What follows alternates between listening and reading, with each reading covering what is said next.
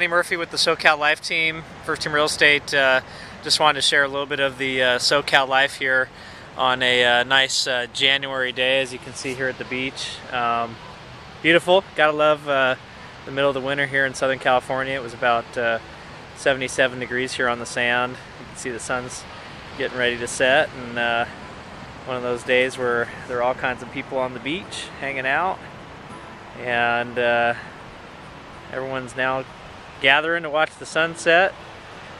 Got some surfers out and someone playing the guitar and um, just uh, the close of a beautiful sunny day here uh, in, uh, in Newport Beach and Southern California. So um, as we say, gotta love the SoCal life.